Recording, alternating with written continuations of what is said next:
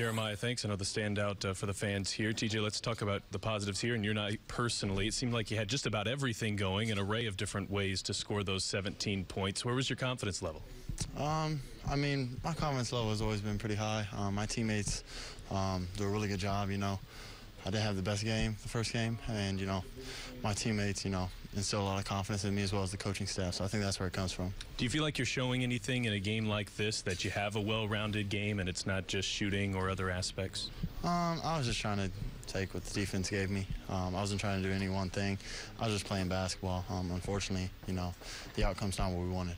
You mentioned you're confident. You had a really good game in the preseason in Cleveland, but to do it in the regular season here when it matters, uh, that's got to stick with you at least going forward. Yeah, definitely. I mean, it's something to build on, but I mean, at the end of the day, we, we didn't have the best team game.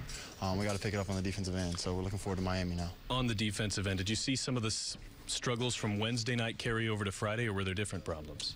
Um, I mean, I think it was some of the same, but I mean, we just got to buckle down and get stops at the end of the day. Um, we can say this is the problem, that's the problem, but we just got to get stops. Not having Myles in the starting lineup, I think we know what Domas can do even just two games in, but the effect that has on depth, did you notice it on the floor?